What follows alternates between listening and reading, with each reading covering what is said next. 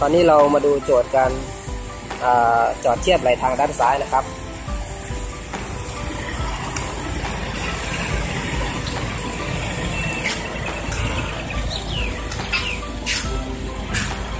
เมื่อกี้ลงไปดูแล้วนะว่ามันกว้างยังไงแล้วก็ปรับ เดี๋ยวไปดูสถิติตัวเองว่าจะโยกกี่ครั้งถึงจะได้ นี่ในนี้จริงๆการสอบเจ็ดครั้งนะไม่เกินนั้น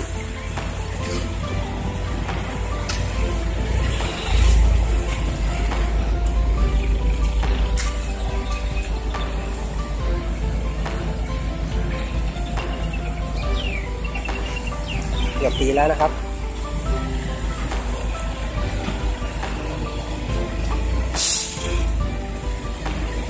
ดีมาก พอพวงมาลัยอ่าโอเค ถูกต้องแล้ว โอเค ถูกต้อง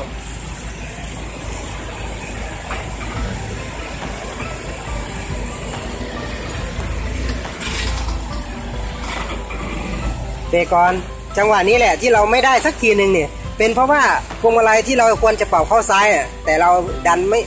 ไม่ปรับมันก็เลยจะเท่าเดิม ปรับเข้ามาทางซ้ายอ่าโอเคถูกต้องโอเค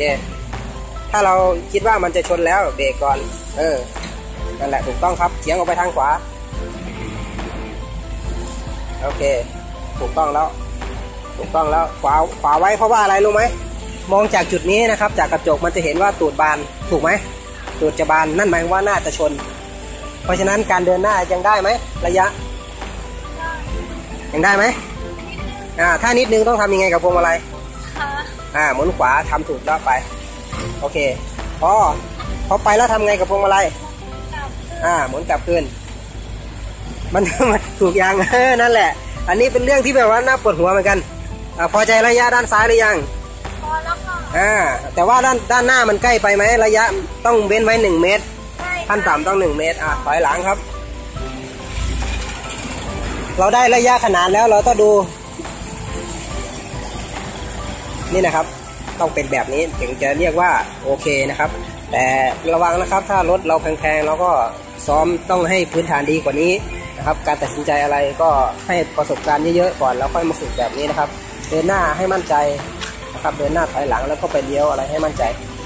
ตอนนี้ด้านซ้ายโอเคไหมซ้ายอ่าพี่จอดก่อนพี่จอดก่อนพี่เรียง แต่เมื่อกี้มันมีไหลนิดนึงใช่ไหมอ่าไม่เป็นไร ใช่ เพราะว่าบางทีอะพื้นที่อาจจะไม่เท่ากัน เวลาเราปล่อยออกเบรกออกรถอาจจะไหลนิดหน่อยก็ได้ เอาละเข้าว่ายากแล้วเดินหน้าออกก็ยากเหมือนกัน วิธีการเดินหน้าจะออกได้ง่ายนะครับ เราจะไม่ใช่ถอยตรงเฉยเราจะต้องมีการหมุนพวงมาลัยซ้ายสักรอบสองรอบก็ว่ากันไป เราจะได้กะด้วยว่าข้างหลังเนี่ยมันเดินมันถอยได้ไม่มาก เพราะว่ามันมีรถหนึ่งคัน ใช่ไหมชีวิตจริงหน้าหน้าก็มีหนึ่งคัน เพราะฉะนั้นเราอาจจะเดินหน้าออกได้ครั้งเดียวก็เป็นไปได้ หรือออกไม่ได้ก็จะต้องถอยหลังบวกความคิดของตัวเองเข้าไปด้วย จริง ๆ มันออกได้ แต่ว่าเราดูก่อนอะเริ่มได้ครับพวงมาลัยซ้ายทำงานด้วย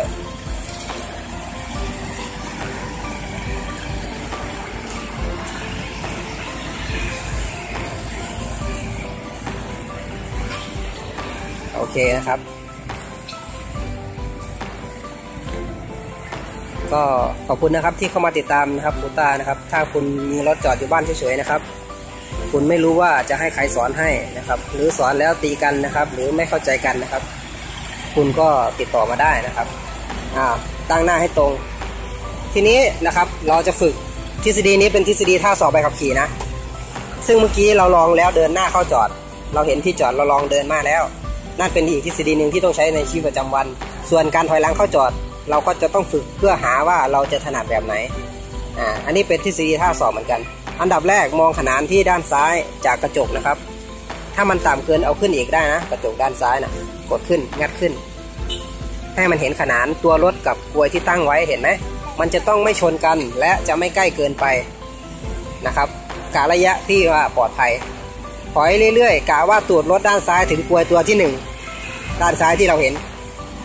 กะนะต้องกะ เพราะว่ารถถ้าเข้าไปเรื่อยๆปุ๊บจะมองไม่เห็นแล้ว เพราะนั่นหมายถึงว่ามันเริ่มจะถึงแล้ว เราจะต้องเริ่มหมุนพวงมาลัยทางซ้ายตัวเองเอาละเริ่มได้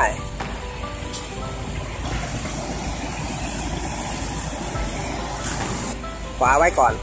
ขวาไว้อีก ขวาไว้อีก อ่า โอเค หยุดรถก่อน อ่า ตั้งให้ตรงพวงมาลัยที่เราใช้เมื่อกี้ อ่า มินิตรงปุ๊บนั่นหมายถึงว่า ระยะด้านซ้ายก็ใกล้จะถึงแล้ว จริงๆต้องมองให้ออกอย่างที่บอก ต้องทรงตัวให้ตรงได้ด้วย เพราะถ้าไม่ตรงเนี่ยมันจะเป็นขนานแบบนี้นะครับ ถ้าท่านเห็นอยู่นะครับ มันจะเป็นขนานกันอยู่อ่าถูกต้องแล้วครับถอยต่อไปเพระว่ากะว่าตูดรถจะถึงเบรกก่อนอย่าปล่อยเบรกเยอะโอเคหมุนซ้ายให้หมด อันนี้เป็นการฝึกครั้งแรกนะครับ อาจจะต้องฟังตามทฤษฎีไปก่อน มองสามกลวยด้านหลัง นับจากกระจกด้านขวาดูดูด้านขวา พอเห็นสามอันแล้วให้หยุดก่อนนะ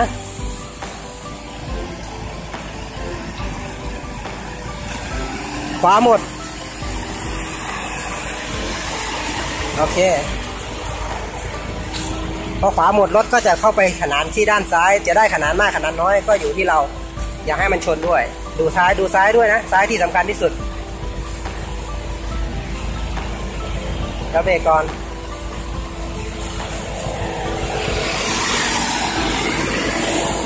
สังเกตไว้ว่า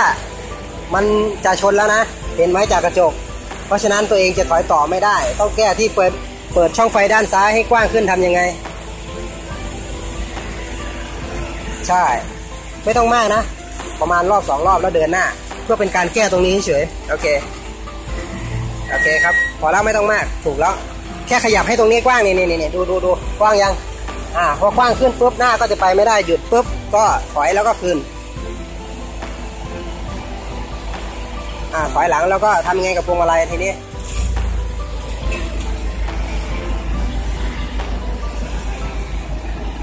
อ่าดูนะครับดูนะครับ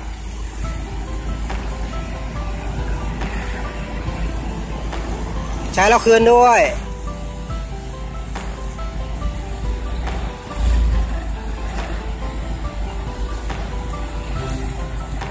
ใกล้แล้วนะครับใกล้เคียงแล้ว เป็นขนาดแล้วนะครับ เหลืออย่างเดียวคือการเว้นระยะจากคันด้านหน้านะครับ 1 เมตรหรือเมตรห้าสิบนะครับ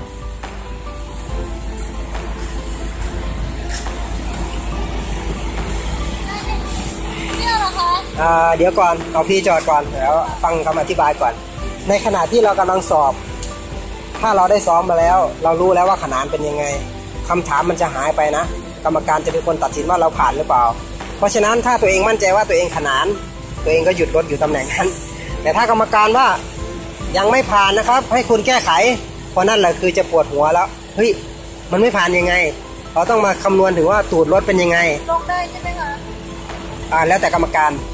บางบางจังหวัดเขาไม่ให้ลงจากรถ บางจังหวัดเขาลำคาญทำไม่ได้สักทีโอ้ยลงคนอื่นรอ ลงมานี่ลงมานี่อะไรอย่างเงี้ยมีหมด เพราะฉะนั้นเราก็จะต้องเป็นหนึ่งในนั้นหรือเปล่าอ่าไม่เป็นไร จริงๆ ตอนนี้ทำได้ดีนะ แต่เหลือแต่ว่าความมั่นใจไง มั่นใจว่าตัวเองขนาดไหม โอเคไหมมั่นใจไหมมั่นใจค่ะ อ่า ก็ลงมาดูดีกว่า อ่า ลงมาดู